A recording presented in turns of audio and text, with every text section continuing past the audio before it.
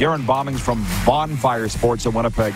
He's football first, but he covers the Jets too for NHL.com. Hey, Bomber, I like the hair. Are you growing it out or something? Or do I normally see you wearing a toque? Why does your hair look longer than normal?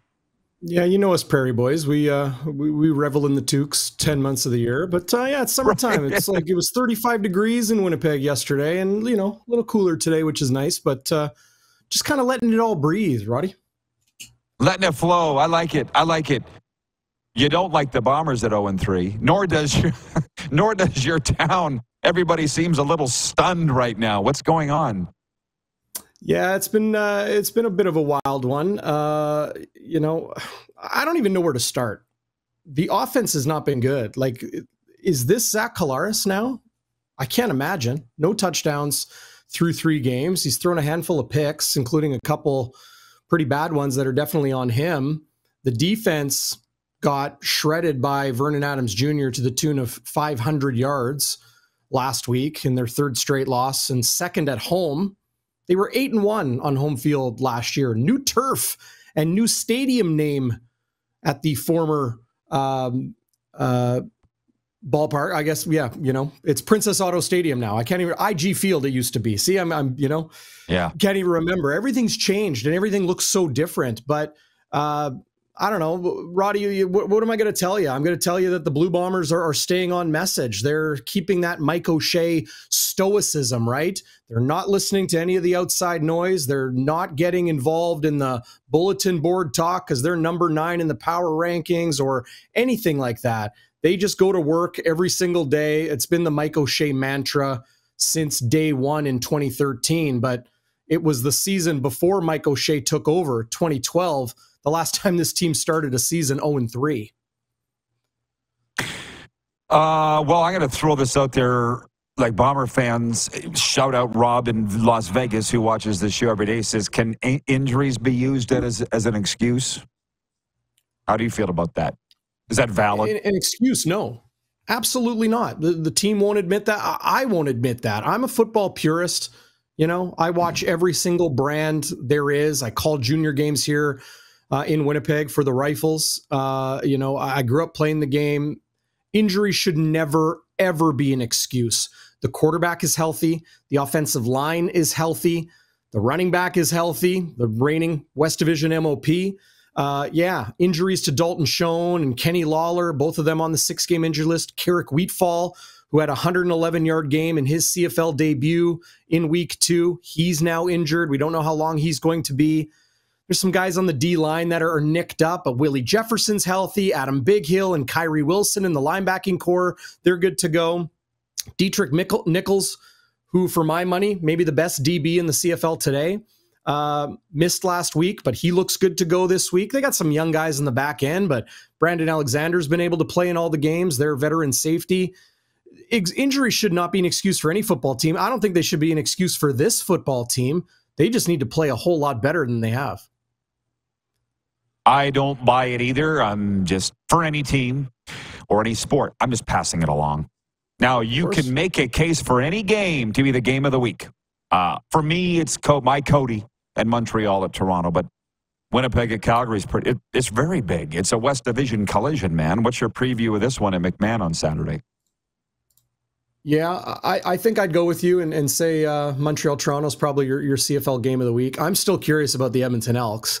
Uh, how do I see Winnipeg, hmm. Calgary shaking out? I mean, Stamps are coming off a bye. Winnipeg losing, I would say, their most impactful receiver, who is, you know, Dalton Schoen, both a possession guy, that reliable person that Zach Collaros has always gone to in huge quantity. He's now out of the lineup, and um, the Stamps are going to be rested.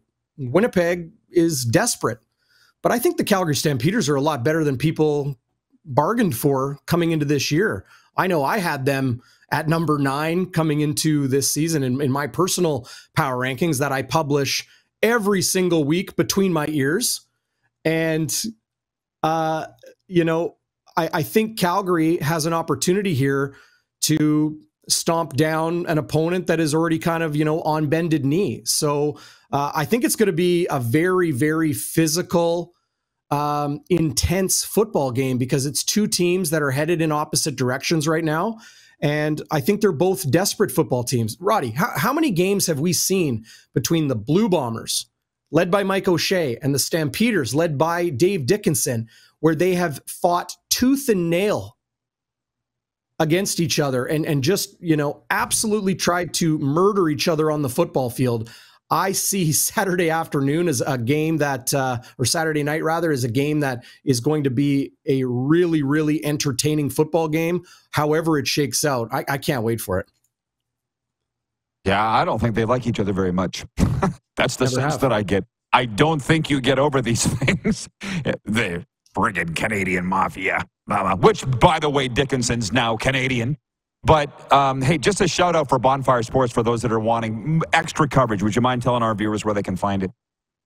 Yeah, bonfiresports.ca is our website. You'll find links to everything, but we really do live on YouTube. You can find us in your podcast app, and then, of course, uh, on Facebook and Twitter and all those sorts of things, all our socials, Instagram as well. Bonfire WPG. Uh, we're going to be doing lots of CFL wide stuff once I get some uh, some things in order. But uh, live pregame and postgame every single Bombers game with the legend Chris Walby joining me for the pregame show. Uh, it's always lots of fun. Appreciate that, Roddy. Very good stuff. And now, if you don't mind, look, we have people writing in here. Have had people writing in here talking about the Jets and what are they going to look like in training camp. I'm like, I'm not there yet. So chill out. But I also get the Winnipeg hockey scene. Long off season for them, man. Long, longer than they planned. What's your what's your take on the Jets as we sit here today? Yeah, no, doubt it was longer than they planned. And I loved how Mike McIntyre of the Winnipeg Free Press put it. The, the Winnipeg Jets had the dubious distinction of losing to the team, the Colorado Avalanche, in the first round, that lost to the team, being the Dallas Stars, who lost to the team, being the Edmonton Oilers, who lost to the team that won the Stanley Cup, the Florida Panthers. So every single team that beat Winnipeg ended up losing in the next round. So that that's that dubious uh, honor they have. Big questions in Winnipeg. Uh, new head coach in Scott Arniel, who had been the associate coach under Rick Bowness the last couple years, as Bowness uh, you know moves on from his uh, illustrious career coaching. And will Scott Arniel be the voice this team needs? Uh, I'll cut right to it, Roddy, because we could talk about you know Nikolai Ehlers and and the defense core and adding pieces and free agency and trades and all that. It all really doesn't matter. This Winnipeg Jets team it matters, but it matters less than this. This Jets team, through my eyes and the eyes of people I've, I've spoken with, they have no drivers, no drivers on the ice, no drivers inside the locker room. And when the first and only head coach that I can remember in any pro sport quit mid season, that being Paul Maurice with the Winnipeg Jets a few years ago. I don't know when any any time that has happened. He decided to leave the team and said, my message is not landing. They need a new voice. When he wins the Stanley Cup the other night, not only did he give uh, a nod to the Winnipeg Jets, and he said, if I could only have one thing more, it would be for the Winnipeg Jets to win the next Stanley Cup. He clearly loved his time in Winnipeg and loved the organization um, and, and still has a lot of relationships here. But it's that the way he talks about the Florida Panthers, he said, This isn't me and the coaching staff. I arrived here in Florida and he said these guys are different. They love each other. They play for each other. I don't know about you know if it's fair or whatever, but all I could hear was what Florida has, Winnipeg does not have. As far as continuity and chemistry, I should say chemistry inside the locker room and drivers. When it came down to it in the playoffs, when they got punched, they couldn't get back up. And I just don't know if the chemistry and the makeup inside that locker room and on the ice as it is today is going to be a winner long term unless they make some serious changes and find somebody, something beyond a great leader in Adam Lowry, beyond that, to kick this team in the rear when they need it, because I see no drivers on this team. Great analysis. Les Lazaruk, whom you would know, the veteran Blades broadcaster who's from Winnipeg, just said the same thing. Something's missing. And for their sake, I hope they find it. Darrin, thanks for this. Love our chats, man. Great job. Enjoy the football. Always good talking to you, Roddy. Enjoy the week. Darrin Bauming of Bonfire Sports, Winnipeg.